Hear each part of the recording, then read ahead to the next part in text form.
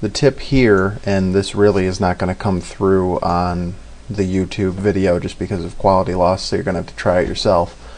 is when you get to the end of your piece, say, and it's completed, we're just looking at a piece of art I did here, um, and you want to give it just a little more pop, like around the edges, more defined, crisp look, instead of using sharpen, which most people do under filter sharpen, you can actually duplicate your layer so that you have two copies of the exact same thing and then go under filter other high pass. What this does is it's going to knock out all of your um, general tones to gray and then outline the very edges sort of like the find edges filter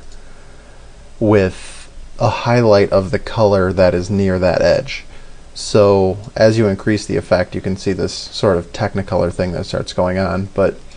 if you just do a tiny little amount, just enough to get sort of these halos around your um, artwork, and then hit OK, you'll now have this high pass layer and your normal layer. And if you set the high pass layer to overlay, what it'll do is allow that gray to disappear and allow the edges to really just come through and make the sides and um, strokes and lines in your piece of art just that more vibrant because they'll get just a little crispness and a vibrancy to them. Then all you have to do is just save this off as a different file and you have a crisper version of whatever it is you were working on. Um,